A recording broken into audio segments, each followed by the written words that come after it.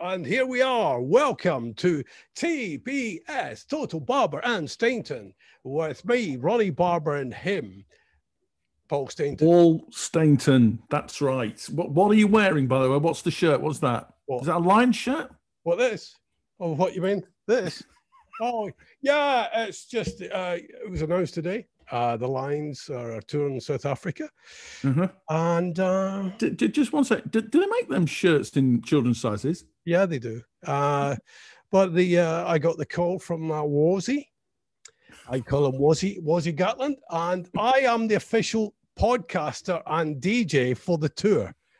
Right. It was me, Judge Jules. Uh, uh, right, we were up at the final, so I've been selected. I am the official podcaster, and Wow. if the disco, the Do Run Run disco on tour with the Lions in the summer. Uh, Sorry, uh, you didn't get the call, Paul. I don't even It's all think right. you. you I, when, I, you know, when the big guns are there, you and Judge Rinder, then, you know, I expect him to go with the big Judge- one of them. Judge Jules, mate. Judge Jules. Oh, Judge Jules. I thought you said Judge Rinder. no, no, no, no. Judge, Judge Rinder. You're all right, mate. I'm fine, thank you. But what's what's going on with these Lions? Well, why is he not picked Jonny May? What's the matter with this Welsh fool? No, um, I don't know. Uh, eight, eight Scottish players are that's like double what we thought was going to go. So I'm chuffed to bits. Uh, plus, Well, it'd be brilliant because Scotland have- been great, haven't they? Because they play one day and they don't play the next. yeah, well, that, that- yeah, it's not their fault. That was the French. Yeah, the French. We'll talk The about them. French. The French. Yeah, listen, before we get any further, can I just say well done, Posh, because they got promotion to the championship, um, went 3 0 down just because they could, you know, trying to create a bit of drama and passion. So they let three goals in so they could come back, you know, with that drama at the end. You know, they knew what to do. They like to do it the hard way. It was never in doubt. And I'm pleased for my old mucker, Ben Stevenson, because he was commentating. So he's now part of Posh Folklore along with Edwin Overland, Bob Burrows, and Adi Moll. So well done, Benoit. It's uh, it's good. Um, uh, Cambridge United at the weekend. They've got uh, Grimsby, who are going down. Uh, so they've got to beat them. They've got to you know, to get to uh, promotion. So fingers crossed for that. It'd be great to have the two of them uh, getting promotion, wouldn't it? It would because I, I don't have a good word to say about Grimsby. To be fair, it's a pretty grim place, and I'm glad they're out of the football league. Stinks of fish. Oh, that's no nice. There must be other smells in Grimsby. No, it's it's mainly fish, main, mainly fish, and the humber stinks. All right, okay. Um, uh, loads of things to talk about today. Uh, Paul, I'm very excited because Mm. I feel pretty Patel. I didn't feel it. Uh, I feel pretty Patel. Um, Come out, the Home Office have come out, um, uh, allowing high achievers uh, to get to, to go to the fast track of getting British citizenship. Ah, Wow. yeah, in the arts and in the, the science and everything. So, um, if Oscar winners, Emmy winners, uh, Golden Globe will all be fast track. If they want a British passport, they go. So, What about Gillard? Gillard winners? Any? well, if you're not, are you not a British citizen then? Well, I don't know. I, I think so. Yeah, yeah. But I just wonder. I could.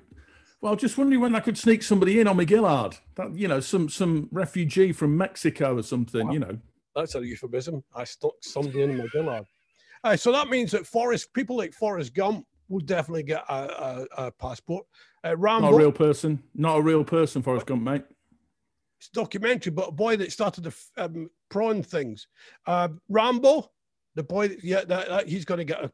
Uh, oh, yeah, I'm not so sure about this one, but he is an, an Oscar. Hannibal Lecter as well. Uh, they're all going to get British. See, no, I, I- what? I think you get yourself mixed up there with uh, people who are not real. A bit. I think it was Ted Cruz, the uh, the Republican, who got a bit mixed up with Jason Bourne this week as well. He was claiming that they were going to send him to Russia until somebody pointed out that Jason Bourne didn't, in fact, work for the CIA. It was a film. Yes. Yeah, yeah, that's. Uh, I, I love this kind of uh, cultural reference, but I'm really pleased. Welcome to Blighty. I'd love to get Forrest Gump in here. I'll I'll, I'll sign that off because it'd be nice to have somebody him there as well. But he's going to struggle with his shrimp boat, isn't he? Where's he going to dock it? Good, point. Good point. We don't. Bubba Gump, Bubba Gump, Bubba Gump. Laugh Yeah. like a box. What? Talking of boats, good link here. Talking of boats, as we speak on election day 2021, uh, make sure you're all voting, people. we can't. Can we mention anything about the election? Or are we not allowed to? Because we're well, strictly speaking broadcasting, aren't we? Yeah, yeah, yeah. But we're not. We we we're not telling anybody how to vote. We're telling people just to vote. But if, if people don't want to vote, that's entirely up to them as well. Mm-hmm. Yeah, it's sitting on the fence. And it's nice on election day that uh, Boris has sent the gunboats to Jersey to to take on the mucky French.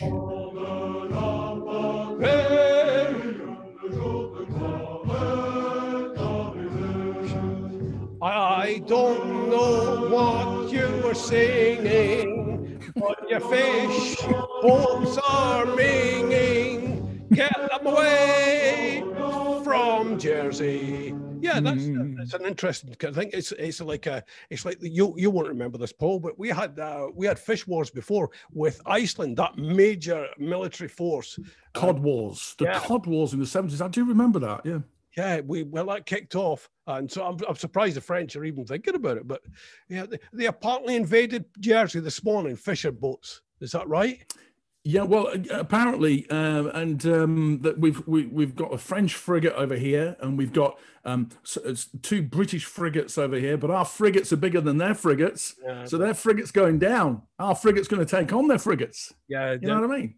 Uh, frigate wars is I, I, I, it's about time, and it, but it will be nice, and it's good on election day as well to see. You know, uh, I would I was surprised that Boris didn't send a task force I thought well, it worked for Maggie, didn't it? When she was down in the polls, she went and took on the Arges. Uh, so uh, you know, it works every time. But he's up in the polls anyway. He hasn't really. And I'll let you into a little secret here, Ronnie. Or well, what? What? What? This dispute with France and Jersey, nothing to do with fish. Nothing. Isn't it? What's it? No, no, no. Garlic. He sent the gunboats to Jersey to protect their offshore accounts. Do you know what I mean? Oh. Yeah. Yeah. Yes, Jersey. Yeah, that's where all their offshore accounts are. Nudge, nudge, wink, wink. Send them all. Yeah, yeah. And uh, they keep them in the lobster nets at Cape May on Jersey. I don't know if you know, it's lovely up there in Cape May and the sun comes over the yard arm. Beautiful. But that's where all the offshore accounts are and some lobster nets. So the gunboats are going to protect them. They won't actually be going into St. Helier or anywhere like that. No. Oh, right. So there's not a full scale invasion going on. St. St. No. Helens or whatever the, the capital is not going to be, yeah, because well, St Helens is in Lancashire, mate. They play rugby league. Never mind. Never is mind. That, is that where the Ouse or the cam goes? Does it go that way as well? No. No, no the Ouse. The Ouse is in Yorkshire. What's the, what's the name of the capital? Yorkshire meets St Helier. Oh right, yeah, I know it's Saint something. Yeah, St Helier. Yeah, yeah. They don't. They don't have rugby posts and strange balls and have to give it back after six tackles. They don't do. It. But it does worry me this this this escalation. Right. Because you know they did say that you know being in the European Union is why we've not been to war in 50 years with the rest of Europe, and now we've got this. We've got gunboats in Jersey and yep. us against the French, and potentially Belgium having a go as well. Belgium having a go. Wow, well, they only do what? They're going to attack them with waffles or what? Well, yeah, get fries with mayonnaise on yeah, because yeah. obviously, you know, landlocked country. But Belgium has now inadvertently annexed a part of France. An irate farmer decided to move a border marker blocking the route of his tractor. Uh, the incident took place near the town of Erguin, uh, which sits sorry? along the border opposite.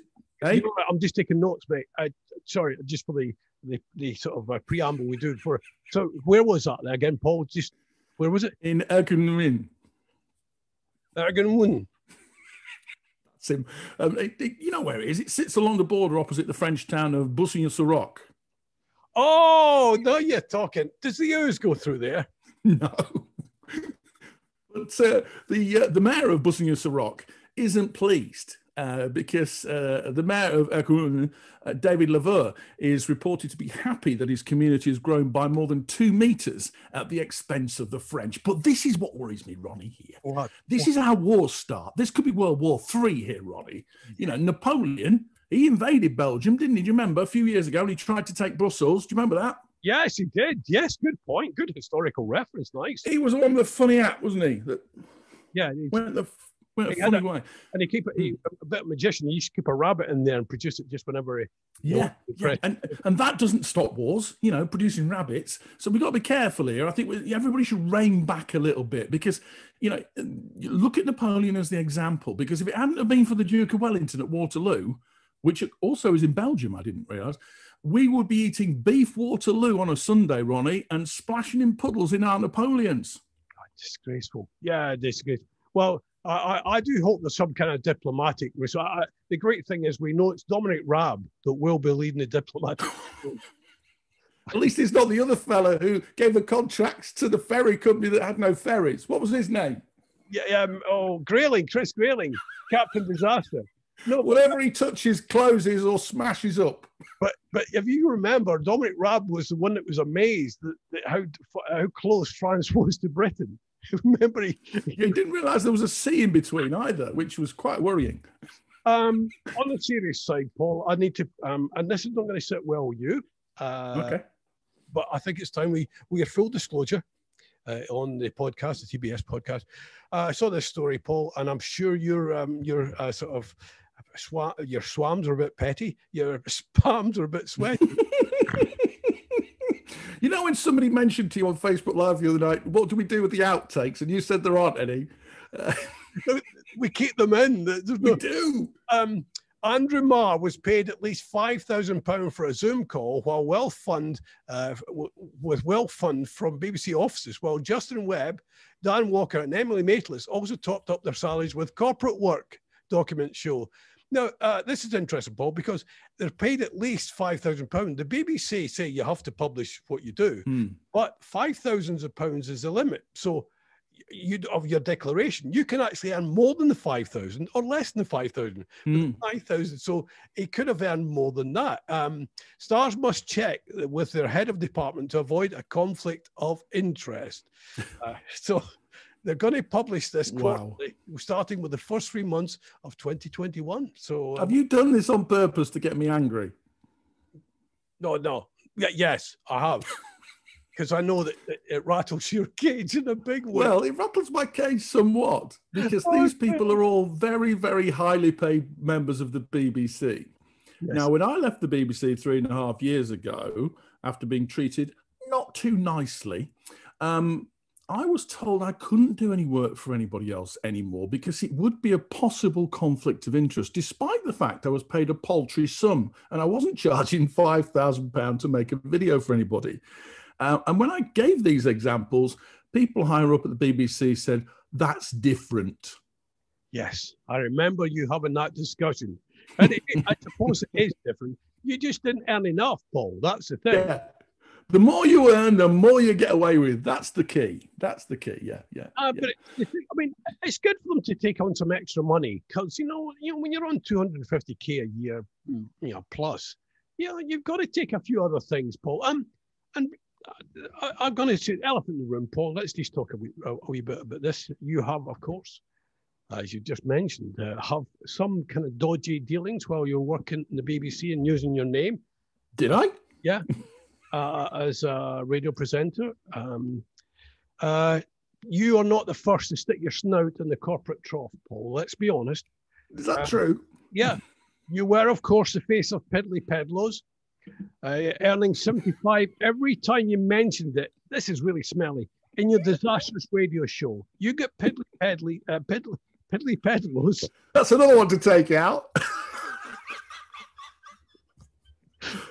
no, before you mentioned outtakes on your Facebook Live thing, we never did. We never cocked up like this. um, so there's that. Or uh, how you use your BBC reputation when you used to run party for thongs for the memories. You remember that? Aye?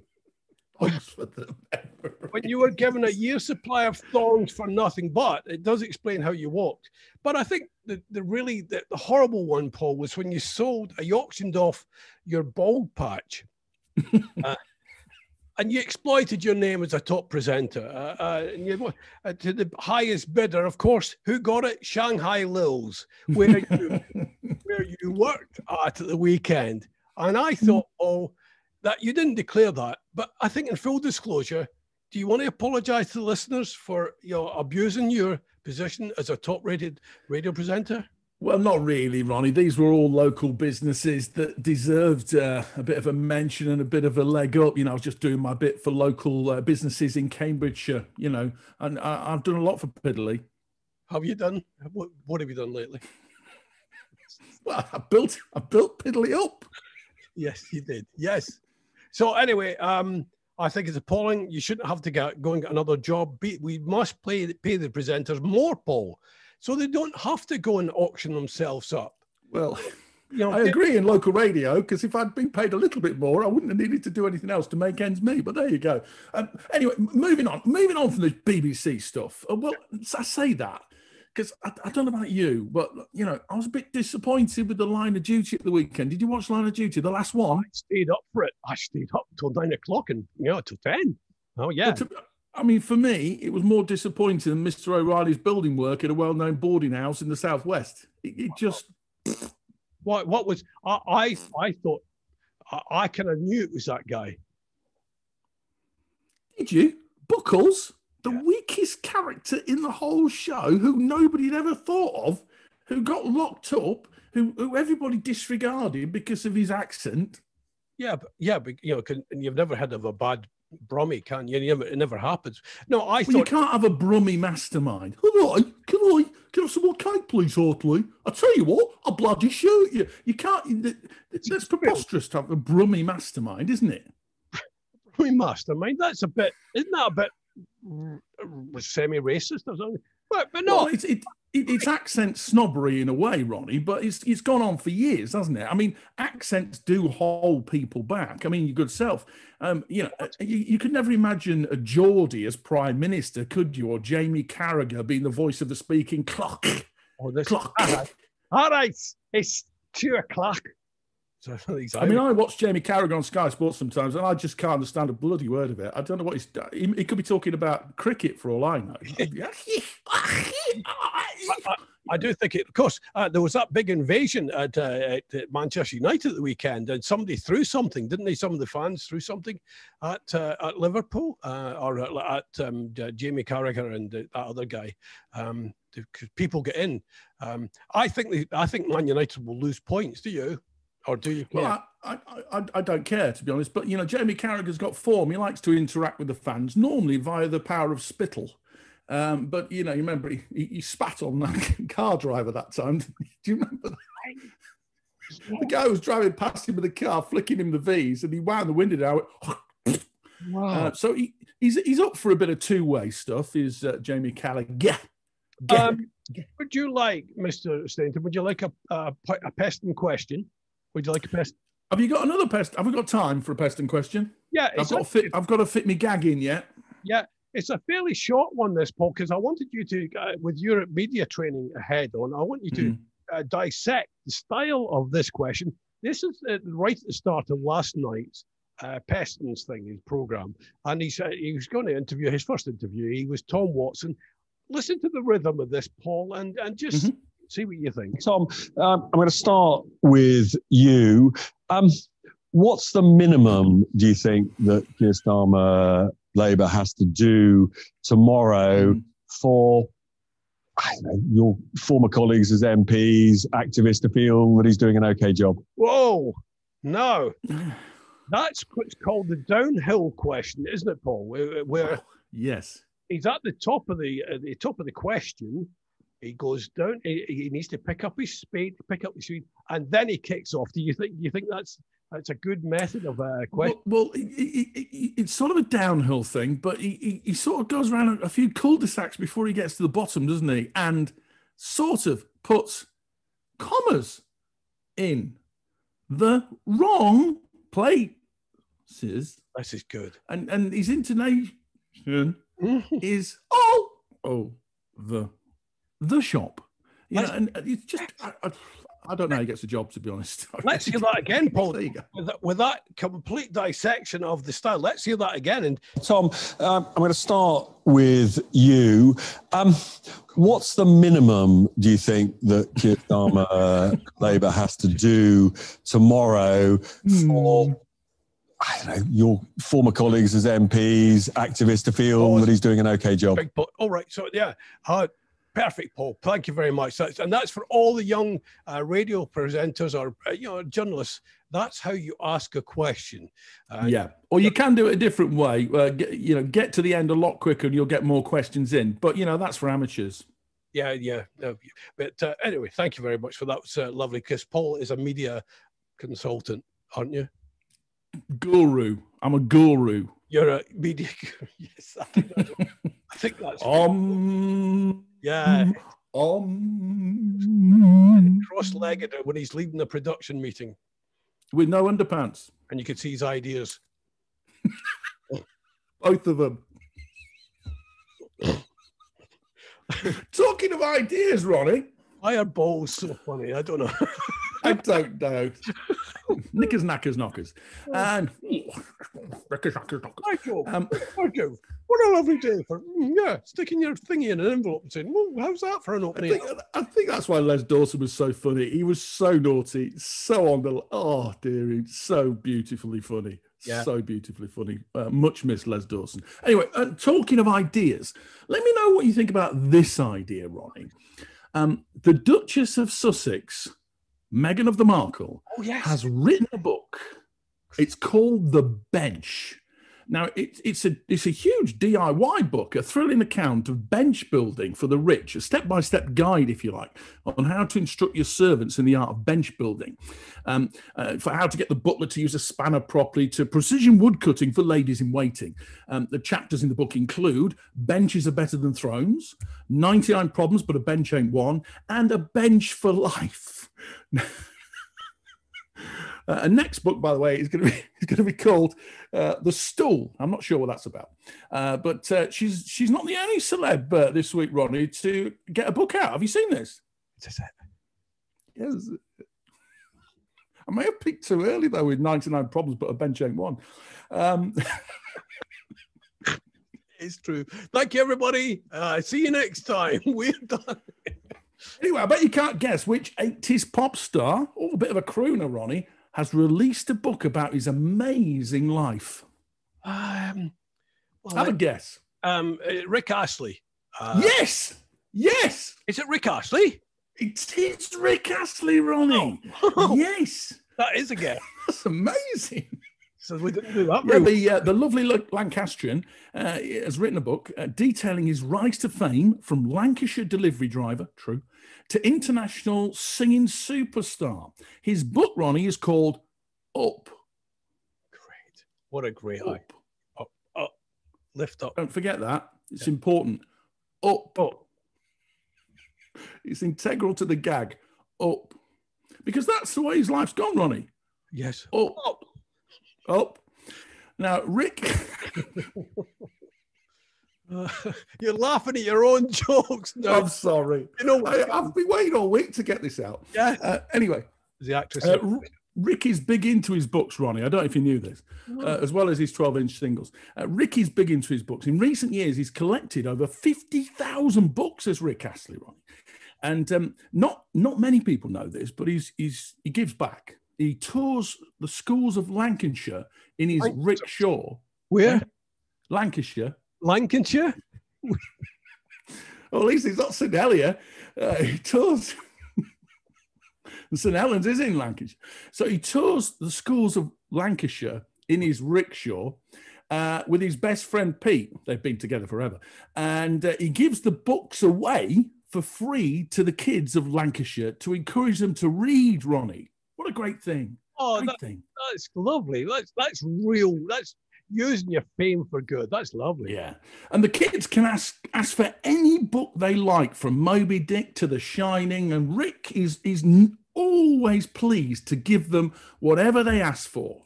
But just a warning. Yes. Just a warning here, Ronnie. What's his new book called? Oh. Yeah. Just a warning, kids of Lancashire, if you're listening. When his new book. Go on. when his new book, Up, Up, comes out, don't ask for that one when the rickshaw turns up at your school. Why? Because he's never going to give you up. Never going to let you down. Never going to. never going to never going to give you up. Never gonna let you down. Oh, Jesus.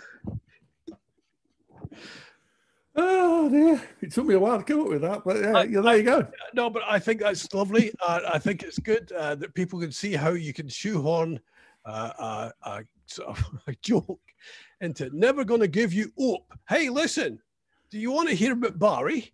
Not Barry, Barry? Fry. Yeah, not Barry Fry. I want to talk to you about a goat named Barry. Okay. Yeah, uh, a goat named Barry spotted on the loose in Fife. Now, in Fife, not a lot happens, Paul. All right, I have to tell it? No, there's not a lot goes on in Fife. Uh, Unless they score four. against Forfar, Mm. they got five. Um, goat named Barry spotted on the loose in Fife as it runs down the residential street. Now, this is a, a goat that got out. Um, the farm animal, which some animals, uh, locals have named Barry, was spotted bolting along the street in Urquhart. Urquhart in, in What was that? Fife. Um, uh, uh, there's pictures of the goat sprinting along uh, the street. Now, Paul, what would you have done with that? Uh, this is again almost a learning thing because uh, Well, I think I think I can answer that straight away. I think a nice curry. not I would have done with, as a phone in. Oh, sorry, sorry. What would you have done with a phone in about a, a wild goat called Barry running down the streets of Fife? Is there something there creatively that you could have done after 10 o'clock, say, uh, after you've done your big uh, conversation thing?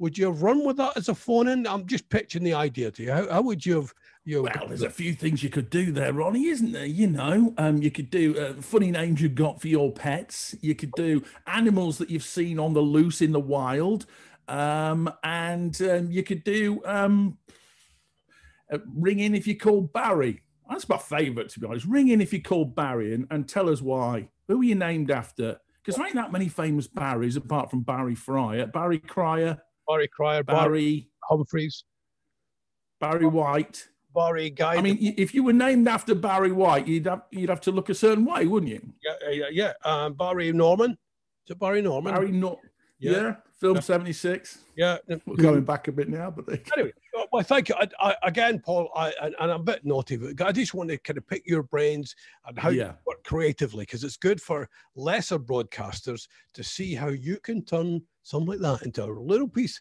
of radio magic. you're going to pinch that for the Facebook lives you're doing, aren't you? Now, yeah.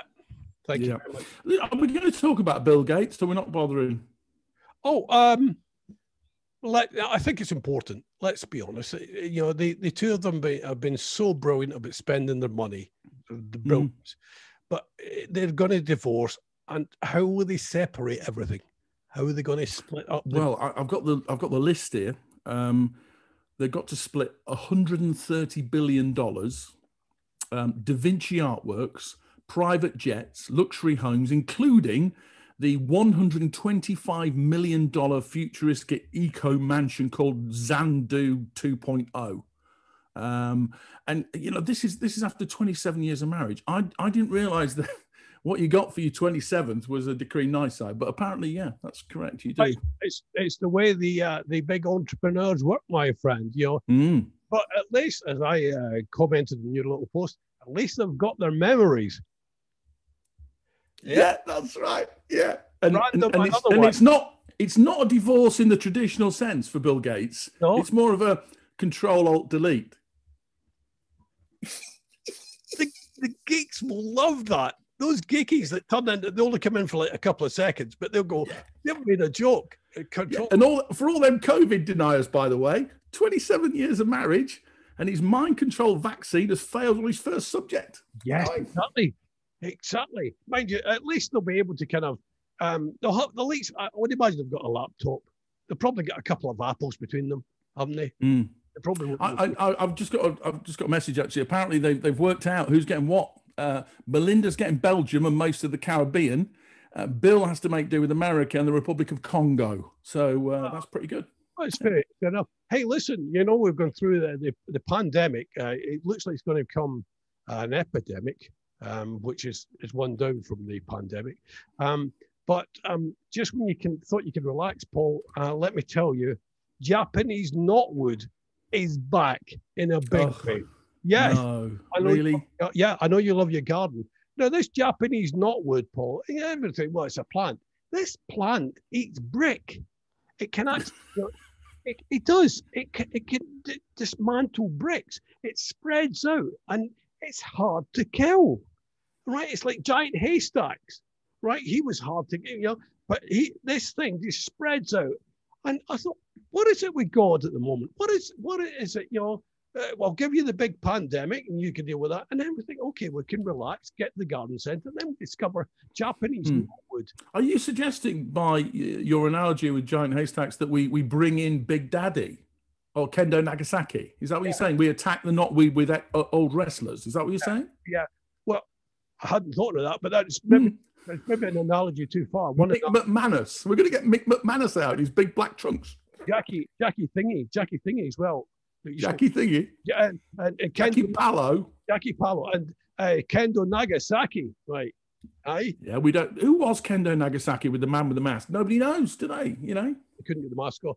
But I just want to put that because that's. I thought, Paul, we should be bringing in some more gardening. Gardening seems to be uh, something that Monty Don, for instance, he he's got big audience figures, big followers.